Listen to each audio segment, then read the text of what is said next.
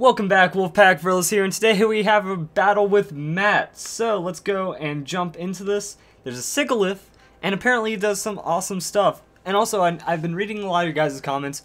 Most of you wonder why I review singles and I don't do a lot of doubles, and why it's mostly the 3, 3v3 and 4v4 videos.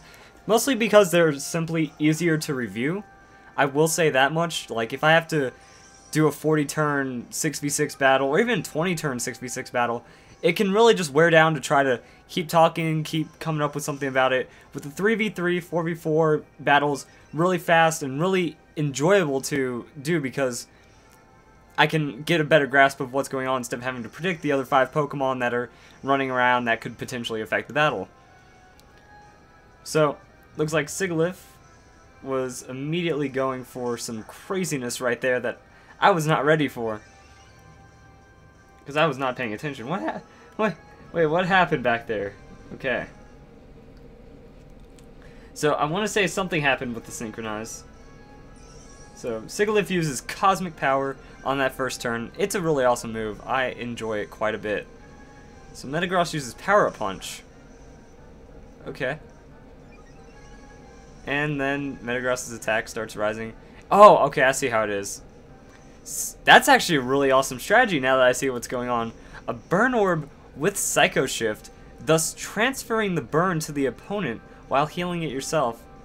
So it's pretty much like a interesting form of Will-O-Wisp that I guess is 100% effective, but cost you an item. Interesting. I'm a big fan of Cosmic Power as well, just because Cosmic Power is is that stockpile for Psychic types. Oh, now I see what goes on. Okay. By having the Burn Orb, you're also preventing yourself from getting statused, and uh, Sigilyph has that ability that keeps it from taking damage from anything that is not an attack. So Metagross is trying to use Power Up Punch to gain some damage. Uh, Sigilyph is gaining defenses at the same rate, therefore Power Up Punch is becoming useless, and with the burn, Metagross's damage is about as low as it can be. So it doesn't matter that Metagross is plus 3. Sigilyph is plus 3 right now as well, and that burn is just destructive to it. I guess also it being very not effective against not very effective is not does not help at all. So this is just giving Sigilyph a free setup. This is very interesting to watch because I've been hearing a lot about how Sigilyph can do these stockpile-like shenanigans, especially because Cosmic Power with its ability so it's kind of like Clefable, just with different typing and a different way to transfer statuses onto the opponent. Really nice. Stored power. There we go. I was waiting for that. Like, I wonder if this guy has stored power. Cause that that's four cosmic powers, I believe. So that's a plus eight on stored power, which means it has a hundred and I want to say 180 base power right now for stored power, which is kind of very strong.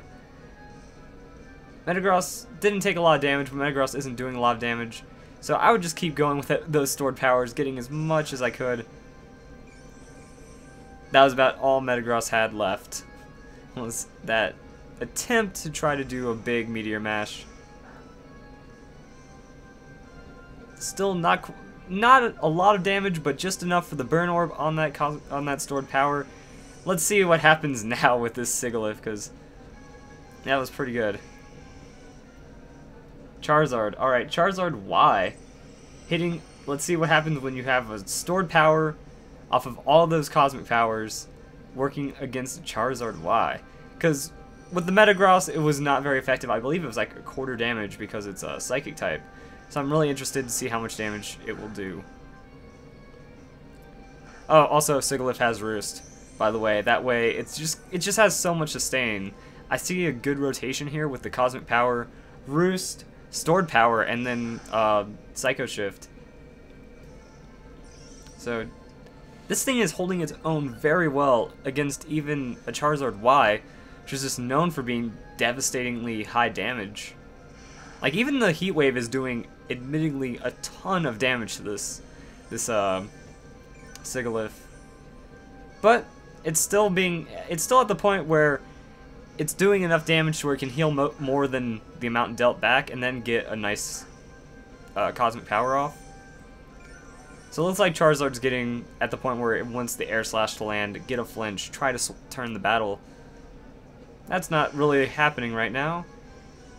And Sigilyph is on that. I think I I think that's the six cosmic power. This stored power is going to hurt. That's going to be 260 base power on that cosmic power with the stab. I'm pretty sure Charizard is going... Ooh, that flinch. Pretty sure Charizard is going to get a good night right here. After the roost. I'm waiting. I want to see the damage. I've been waiting to see how much it's going to do the whole time. Come on. Oh. Still, still waiting. It's, it's so much anticipation right now. So much anticipation. Alright. Yeah, the, the only hope for Charizard is a crit on a Heat Wave, maybe.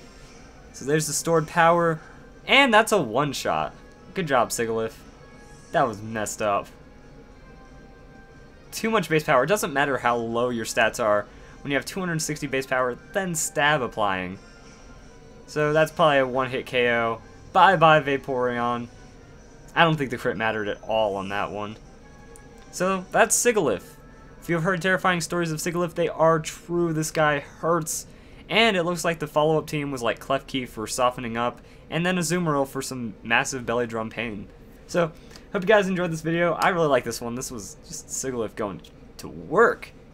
I'm always a fan of these kinds of strategies. So I hope you guys enjoyed the video, and I hope you all have a nice day.